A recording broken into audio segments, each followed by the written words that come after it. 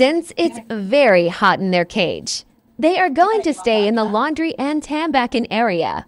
And since it's already 10 o'clock in the morning, it's snack time. The three dogs' name, the Shih Tzu is Sparkle, B1 the mini pinscher, and his child Tambol, which is very maculet. He is a mixed breed, a mini pinscher, descendant a Shih Tzu, a very aggressive dog, especially if he is in his territory. He barks on all dogs that passes by in our house. But Sparkle has a very sensitive instinct.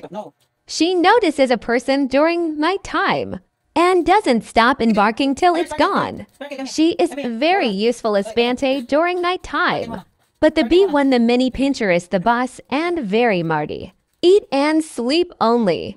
Sparkle, the Shih Tzu has blur vision and need to spoon feed. The foods to her mouth. See, Tambol waits for her foods to be dropped from her mouth of Sparkle and eat it very quickly. See that? Just what I have just said a while ago. Sparkle has this attitude, sulked and don't listen. Matampuin in Tagalog. Just stay in the corner and thinking she was scolded. Same on most of the girls they have what they called. A girl thing or hormonal imbalance.